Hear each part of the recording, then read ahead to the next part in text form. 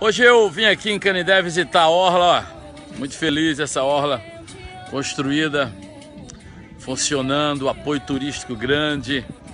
Quando eu fui prefeito a gente conseguiu, em parceria com o governo do estado, recursos do Prodetur, a construção dessa maravilha.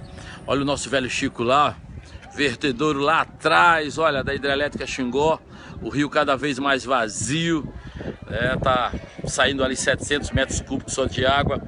Alegria para mim aqui voltar ao lugar e ver uma obra de infraestrutura funcionando.